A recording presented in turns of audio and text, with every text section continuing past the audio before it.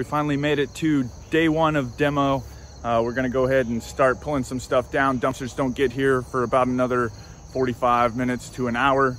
So until then, we're just gonna do what we can and we'll let you see it. So enjoy this day and I'll talk to you later on this afternoon.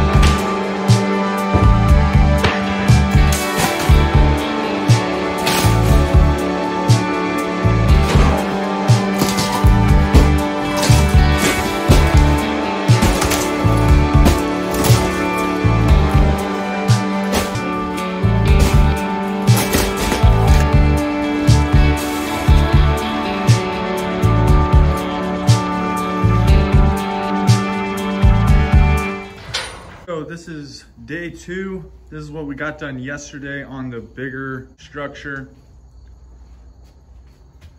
Pretty much completely gutted. We ran through three dumpsters yesterday. The dumpster is currently full, so we're waiting on a new one to show up this morning. The other building already has a fresh dumpster, so that's gonna be the first thing that we hop on this morning. So anyway, let's get to it. All right, here's today's project. This is the smaller 12 by 50 foot that is just absolutely yuck. So the floors are pretty soft in here. I need to be careful about that, but it is just absolutely nasty. So by the end of today, all this shit should be completely knocked out and we're gonna redo everything.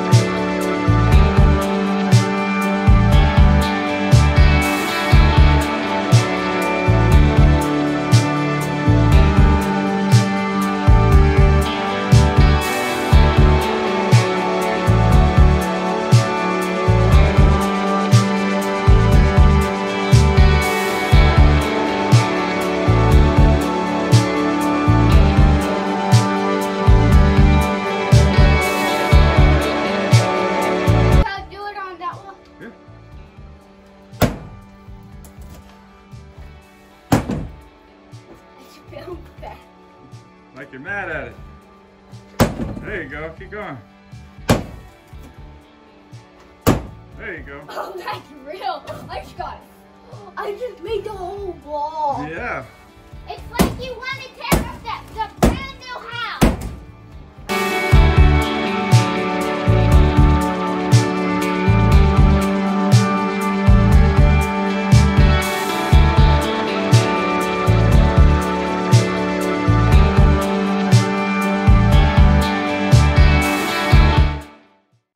Alrighty.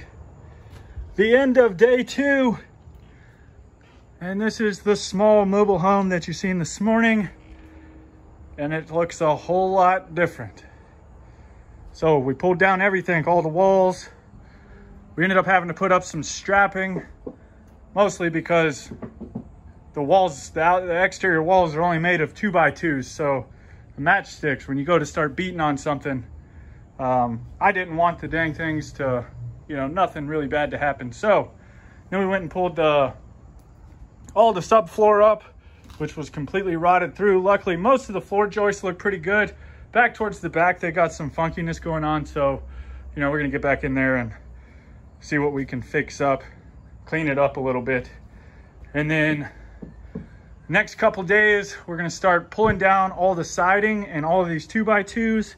And we're gonna replace the two by twos as we go with two by fours. And then the two by sixes that run along the exterior of the mobile home itself.